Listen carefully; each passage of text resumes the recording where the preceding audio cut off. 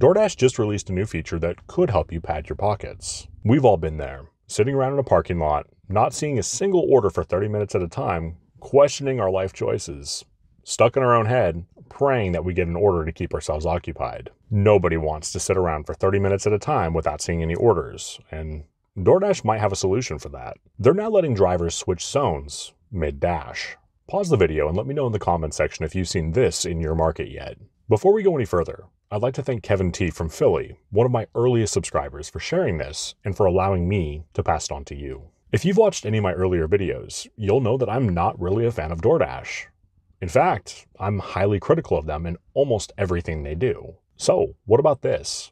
Is this actually good for us?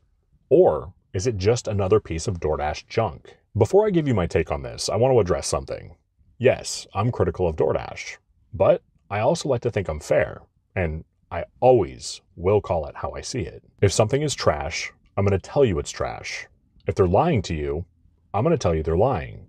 But if they do something beneficial, I'm also going to call that out too. And that's the case today. I don't see a single problem with DoorDash telling drivers mid dash that there's a busier area near them and asking if they want to switch zones. Hell, I've given that advice numerous times. Play around in your own market, figure out when and where it's actually busy. When your market is dead, sitting around in the same parking lot for hours on end isn't really going to do you any good. Here's the thing hundreds of you, like hundreds and hundreds of you, are telling me that you're seeing what I'm seeing in my market, that all of the apps are slowing down. With summer coming up, it's not going to get any better for most of us for several more months. So, this change is coming at a welcome time. If you're just sitting around not getting any orders and DoorDash tells you it's busy somewhere close to you, why wouldn't you want to switch? It sure beats waiting around in a parking lot not getting anything. Those of you in bigger markets with multiple zones are far more likely to see this than somebody like me, whose market is literally one zone. The next closest zone to me is about a 20 25 minute drive. So if they made it worth my time,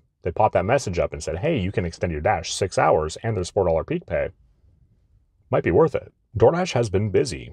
They're reworking their driver rewards programs, they're messing with the completion rate requirements, and now, seemingly, they're letting drivers switch zones. So at least they gave us something positive in there. I want to hear your thoughts. Tell me about your market, how many zones you have. Do you think that this is a good thing for drivers? Let me know in the comment section.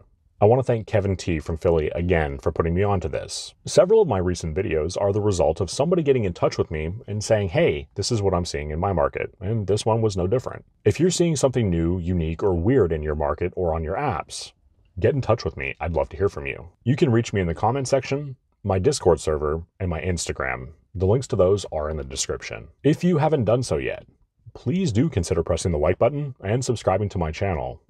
My name is Zach. Take care.